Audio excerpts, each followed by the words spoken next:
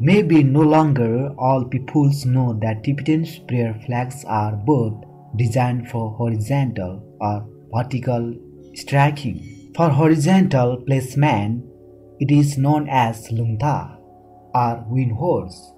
For vertical mounting, it is called darcho or flagstaff. That way the Tibetan prayer flags will now not pose much work and attempt will deciding on the right area to hang them.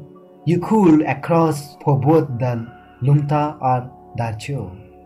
And that may be a huge benefit for location where inputting matter can pose demanding situation, especially in a standard house backward where area may be restricted or perfect location wouldn't be available. As some distance as layout and aesthetics, they may be visualized appealing.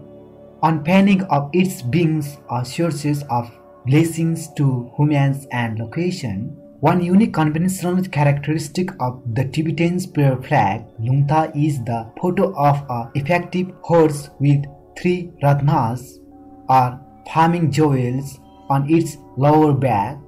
The horse image of the represents peace and of ill fortunes turning into properly ones. The Buddha, the Dharma or Buddhist teaching, and the Sangha or Buddhist network area representations of the trio of traditional philosophies on which the entire path is based, bordering the Lungta image area kind of 400 or so conventional mantras, every of them consecrated to a god or deities.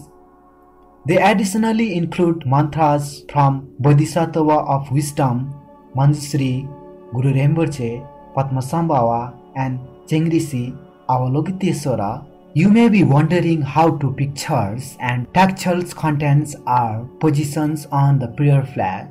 Well, with the block already cropped with the snapshot and mantras, ink is smeared on the surface, then pressed onto the material, leaving the print at the prayer flag.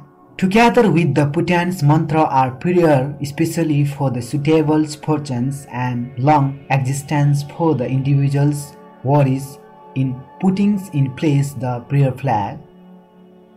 Mountains they may be additionally contains positives, dangerous, demanding situation and difficulties and these prayers assist supply those human beings needed protections and benefits in life